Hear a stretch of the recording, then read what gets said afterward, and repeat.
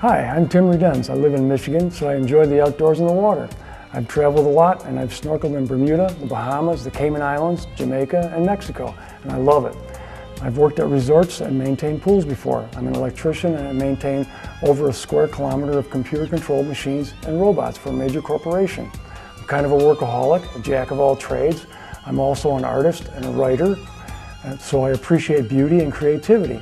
And I would love to come and help you promote your paradise there in Australia. Thank you for your consideration on this awesome job. Again, I'm Tim Redenz and I hope to see you in Australia this coming year.